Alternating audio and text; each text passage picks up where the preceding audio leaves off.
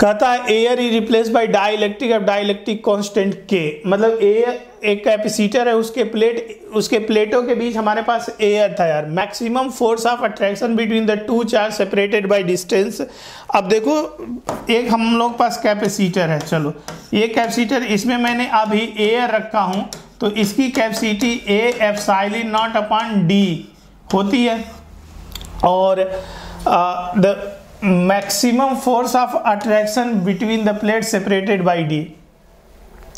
अब इसमें इस, ये ये प्लेट्स थे, ये एक प्लस प्लेट था और एक माइनस प्लेट है। अब इन प्लेटों के बीच क्या लगता है भाई? इन प्लेटों के बीच एक फोर्स लगता है। उस फोर्स की वैल्यू अगर आपको डायरेक्ट याद है, एक प्लेट दूसरे प्लेट को कितने फोर्स लगाएगा? Q square upon two A epsilon naught के इक्वल होता है। ये तो ये जो है, ये एक प्लस वाले पर इतना फोर्स इधर लगेगा और इतना ही फोर्स माइनस वाला प्लेट इधर लग, लगाएगा, जिसे वो दोनों कोलैप्स होकर ख़त्म कर लेंगे, इसलिए हम डाइलेक्ट्रिक डाल देते हैं। और डाइलेक्ट्रिक डालने से बहुत सारे फ़ायदे होते हैं। तो maximum force of attraction distance अब अब जब आप ये तो कहानी था एयर में। जब आप इसमें हाँ जब इसमें डाइलेक्ट्रिक दोगे तो नया फोर्स एफ़ डैश बनेगा Q upon two A epsilon naught K dielectric constant K हम सबको पता है कि जब फोर्स डालोगे तो जो मीडियम की एफसाइलिन नॉट अपान के मतलब dielectric constant K is equal to medium की परमिटिविटी और ये एफसाइलिन नॉट इसके इक्वल होता है, ये। और वैसे भी यार, जहाँ भी एफसाइलिन रहे बगल में के से मल्टीप्लाई कर दो तो ये हमें मिल जाता है। बराबर है? तो ये वाली चीज़ हमें मिल जाएगी।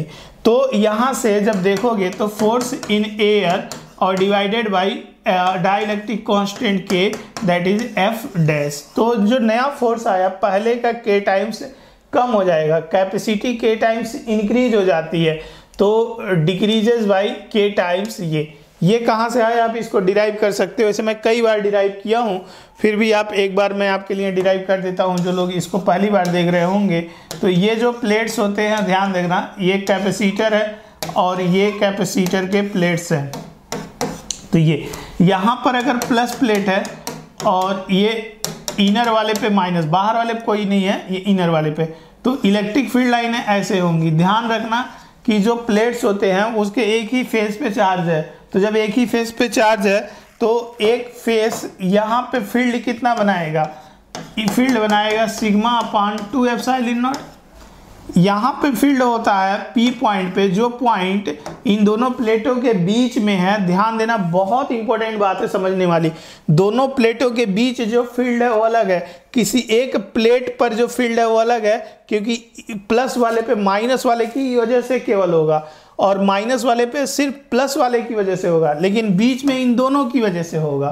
तो यहाँ पर तो फ़ील्ड जो है, उन दोनों का आप पढ़े होगे कि sigma upon epsilon naught के इक्वल होता है नेट फ़ील्ड। इन दोनों का जोड़ दो वेक्टर। तो यहाँ से सिग्मा फ़ील्ड की वैल्यू आ जाएगी charge upon two A epsilon naught.